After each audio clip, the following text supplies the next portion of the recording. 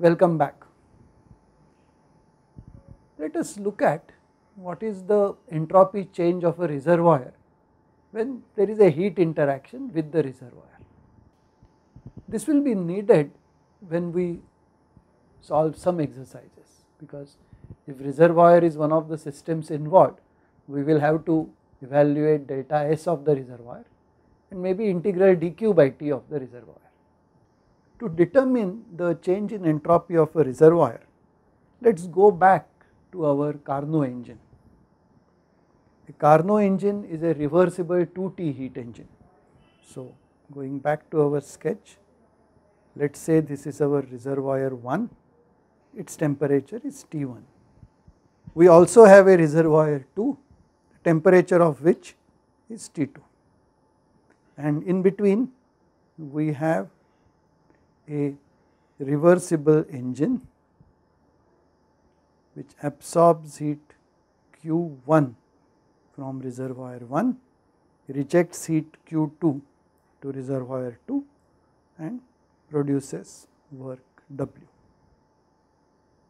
Notice that this is a reversible engine, a Carnot engine and hence for every cycle the delta S of this reversible engine per cycle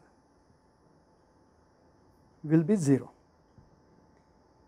But let us evaluate this and we will notice that this is 0 but it should also be equal to now notice that this Q1 is absorbed when the temperature of the system that is the reversible engine is T1. So this will be the heat absorbed is plus Q1 temperature at which that is absorbed is T1 plus there is a change in entropy when heat is rejected at T2. So here the heat absorbed by our reversible engine is minus Q2 divided by the temperature is T2 and we know from our analysis and our definition of the thermodynamic temperature scale that the expression here on the right hand side is indeed 0. Now let us look at it from the point of view of the reservoir. Even this heat transfer, the process of this transfer of heat Q1 from the reservoir to our reversible engine is a reversible process. So it takes place at essentially 0 temperature difference.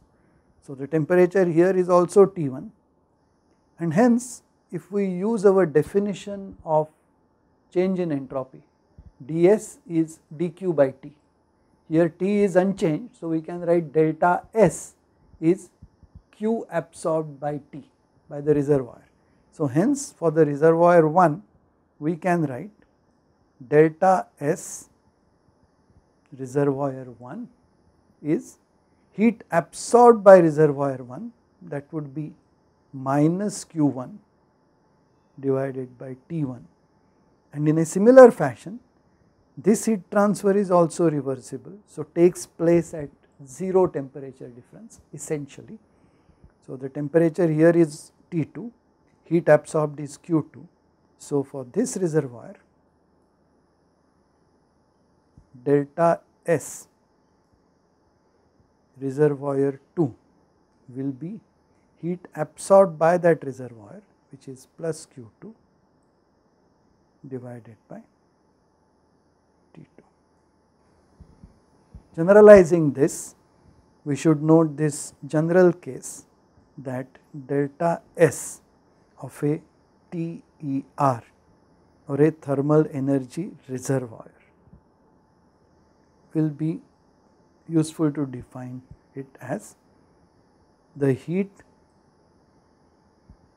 absorbed by the thermal energy reservoir divided by temperature of the thermal energy reservoir.